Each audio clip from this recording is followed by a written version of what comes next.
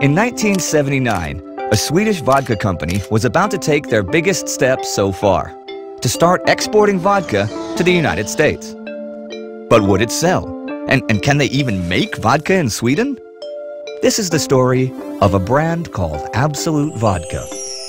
The making of Absolut Vodka is based on 400 years of Swedish tradition a tradition roughly 200 years older than the United States of America. So, yes, they do know how to make vodka in Sweden. And one man in particular, Lars Olsson Smith, called the King of Vodka.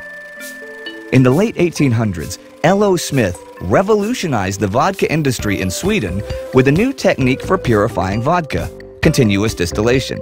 He called this new vodka Absolut Rent Brännvin, that's Swedish for absolutely pure vodka. Realizing the power in the word absolute, Lars Olsson Smith registered the brand name in 1879. Over the next hundred years, the vodka was refined and improved until its ultimate proof, Absolut Vodka, was ready for the export market in 1979. But before the international launch, the product needed a suitable container. Gunnar Broman, a creative director at a Stockholm agency, was put on the mission. He presented a number of different possibilities, some linking back to the Viking heritage, and one that was actually wrapped in a paper bag. Broman finally came up with the winning concept. He based the design on a traditional 18th century pharmacy bottle that he found in an antique shop in the Old Town in Stockholm. However, when the bottle was tested before launch, it showed that market research turned down the bottle. The neck was too short and, made it hard to pour from, and the fact that it had no label would make it disappear on the shelf.